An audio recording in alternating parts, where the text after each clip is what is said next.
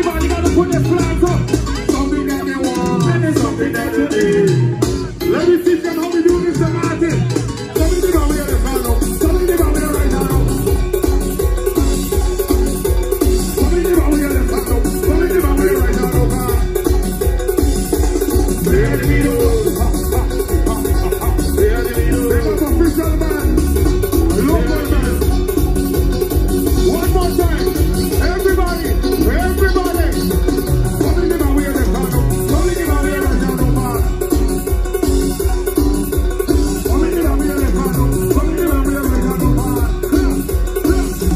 Yeah.